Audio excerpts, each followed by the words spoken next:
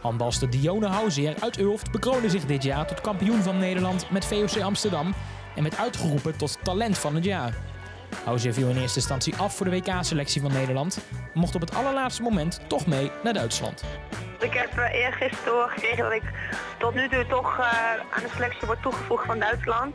En zal dus ook woensdagochtend vertrekken naar Duitsland. Het gaat toch wel een soort blijdschap door je heen dat je de eerste dagen weer mag ervaren, weer iets extra's kan meemaken met deze groep. En uh, ja, het is alleen maar, alleen maar gaaf om dit mee te mogen maken. Op haar 18e verjaardag zat Houseer voor het eerst officieel bij de selectie van de Oranje Dames voor een trainingsstage. Super gaaf. Het in het begin is natuurlijk even spannend en aftasten, omdat je, ja, je kent ze natuurlijk niet echt wel, vooral via tv.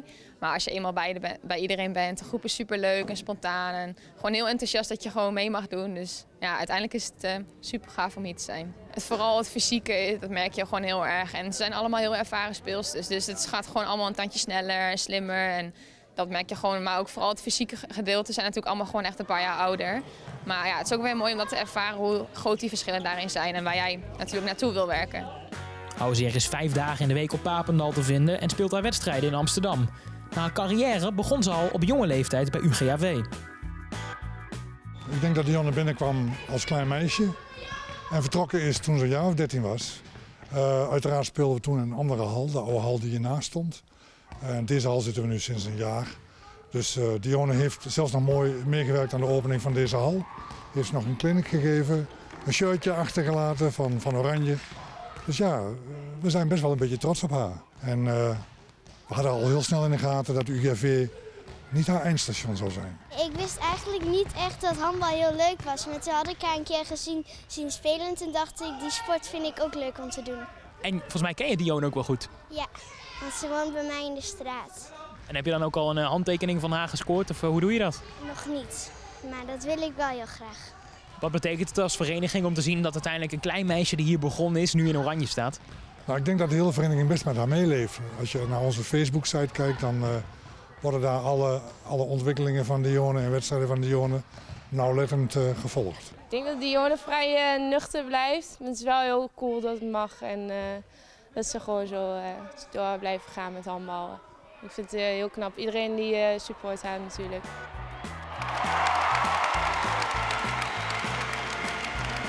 Tijdens de uitzwaaiwedstrijd tegen Italië maakte Houseer haar debuut in Nederland voor de Oranje Dames voor 4.500 toeschouwers.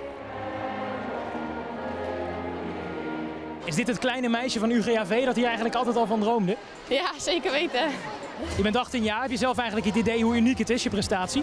Uh, nee, eigenlijk niet. Je bent er zelf niet echt mee bezig, ik doe gewoon mijn ding. En uh, ja, het is nu op 18-jarige leeftijd, uh, dus ja, mooi meegenomen. Maar ik denk er eigenlijk niet zoveel over na. Familie hier op de tribune, hoe trots zullen zij zijn? Ja, heel trots. Ja, ze staan altijd achter me en zijn blij dat ik dit mag meemaken. En ja, ja, zijn trots. Op 18-jarige leeftijd was dat droom van ja, in oranje willen handballen. Dus ja, geweldig. Ja, heel bizar. Nu zo jong en met grote oranje, ja, dat is echt te gek. Ben heel blij haar. Moet je als moeder zijn en dan ook in de arm knijpen? Ja, nou zeker wel. Dat verwacht je totaal niet. En dat dat wel zo is, nou, dat is echt heel bijzonder. Ja, echt uh, geweldig. Moet een hoop dingen laten liggen natuurlijk in het sociaal leven. En uh, ja, heel veel trainen. Twee keer per dag trainen, vijf dagen in de week. En het weekend wedstrijden. Dus uh, ja, veel voor doen. Absoluut. Ja, vriendin staat hier gewoon op het veld met allemaal grote meiden. En zij staat als een klein meisje eigenlijk nog tussen. Dat is echt heel vet, ja. Jij ziet het van dichtbij eigenlijk wat zij ervoor moet doen. Ja, ik uh, ben zeker dichtbij. Ik ga veel met haar om en ze heeft er alles voor over en ze doet er ook alles voor. En ze probeert alles te doen om gewoon met die meiden hier te staan. En ze heeft het ook hartstikke leuk en die meiden vangen haar ook gewoon echt mooi op en gezellig met z'n allen. Dus dat gaat echt wel goed. Springt ze er bovenuit al bij jullie op de academie? Uh, ja, ze is wel een van de betere speelsters bij ons op de academie. En ze is ook nu al derde jaar, dus ze is ook wel een van de oudste. En uh, dat zie je ook wel. En ze regelt het ook wel een beetje bij ons. En dat is echt, echt een groot verschil. En hoe is ze buiten het veld? Echt een, echt een topmeid, echt een leuke meid waar je echt goed mee kan lachen. En uh, eigenlijk nooit boos, nooit zagrijnig, lekker gezellig en uh, kan je altijd wel maar lachen. Want wat zijn haar kwaliteiten? Waarom springt zij er zo uit? Uh, ze is natuurlijk linkshandig en qua technisch pakt ze heel snel dingen op in het veld. En wat men gezegd, voert ze snel uit en ja, dat zit toch weer toonbaar in het veld. Dat is het haar talent van haar, snel dingen zien, oppakken en doorgaan. Wat voor carrière zie je dan voor je, nu ze nu al hier staat? Ja, geen idee. Ik denk ergens in het buitenland zal de carrière worden vervolgd en, uh, en Oranje. En uh, hoe dat gaan lopen, ja. We gaan het meemaken, maar wel in het buitenland, ja. Uh, ik denk dat ze nu, nu nog het jaartje op Papendal zou zitten. En dan denk ik dat ze wel een stap naar het buitenland zou kunnen maken. En ook wel echt een topclub zou kunnen vinden, want ze is wel een grote aanspreekpunt voor veel clubs. Is het een droom die uitkomt voor jou? Ja, zeker. Ik denk het wel. Je mag aansluiten bij het A-team. Dat je uiteindelijk nog een aantal minuten mag maken is mooi meegenomen. Dus uh, ja, zeker. Weer een ervaring rijker. Is de beloning eigenlijk voor jouw jaar?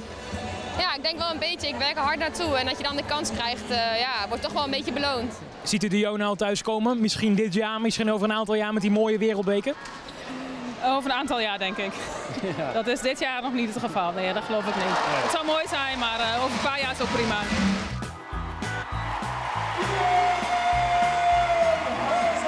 Helaas zit ik niet bij de selectie. Uh, ik heb wel de eerste drie dagen meegemaakt.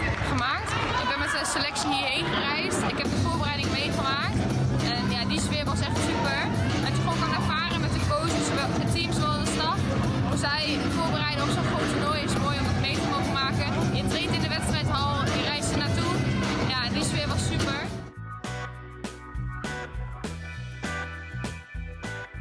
Inmiddels is Diona Houzeer weer terug in Nederland. Het WK handbal in Duitsland duurt nog tot zondag 17 december.